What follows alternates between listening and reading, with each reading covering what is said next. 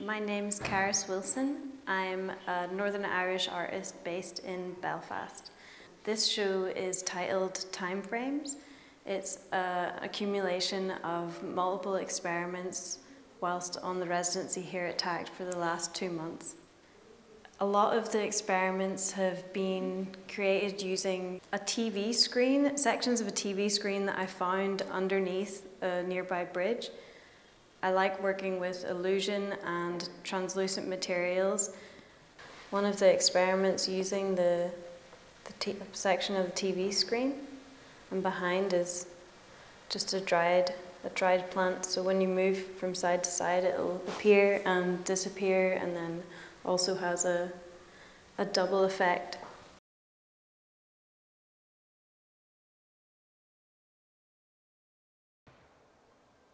This is a, a fine, the fine TV screen and this is the full, the full scale of the widescreen and you can see different scratches and, and marks on it. Um, and then this is a, a plant that I made and then placed behind out of paper and wood. So each of the little leaves I've, I've folded and I, I like to do it as a, a sort of form of meditation, just saying folding and yeah.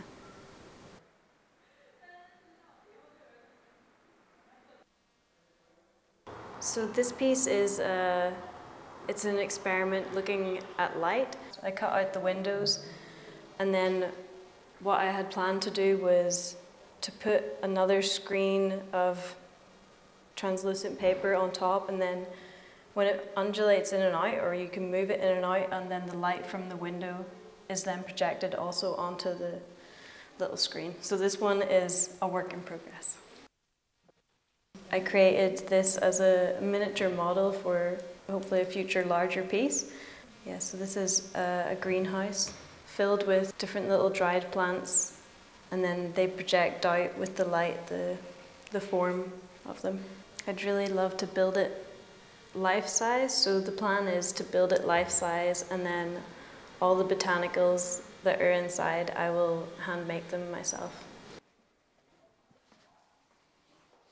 I love windows and, and light, but windows especially as a, a sort of portal or barrier between our inner and outer worlds and our man-made environments and our natural environments, just the, the crossover and the connection between the two.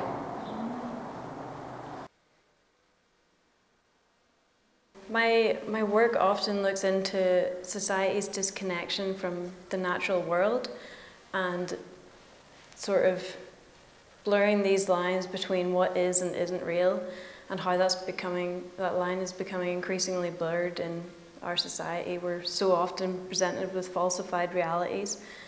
And adding the TV screen to this natural object almost makes it seem like it's, it's not real.